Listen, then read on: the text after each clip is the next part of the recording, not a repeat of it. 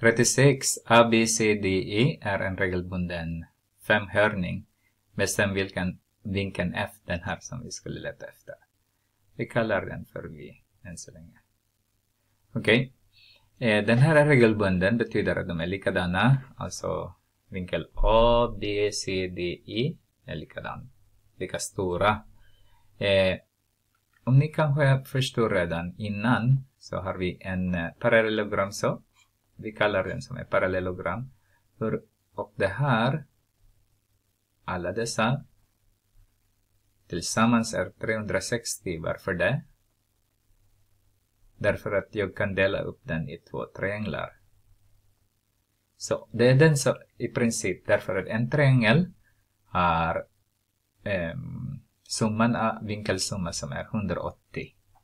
Så om jag kan de, dela den här eh, femhörningen då, regelbunden femhörningen, regelbunden för femhörning, så kan jag kanske kan lösa hur stora de är.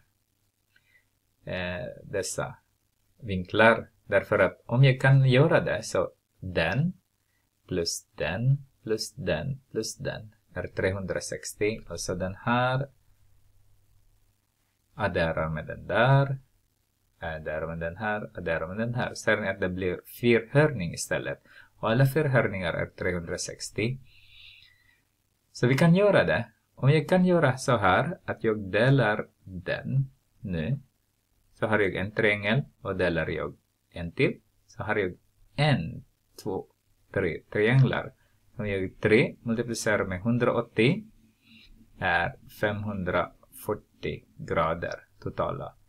Så för att dela upp den 540 dividerat med 5, därför det är 5 hörningar, så har jag en 0 och sen har jag 40 då 8 grader. 108 är det. Så har jag eh, så har jag V adderar med vinkel B adderar med vinkel C är därmed vinkel D är lika med 360 grader.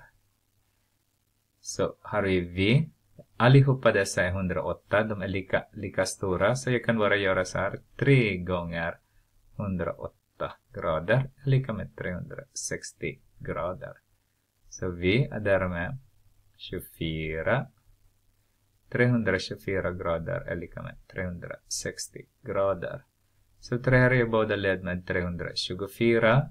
Med 324 så har jag V lika med 6, 36 grader.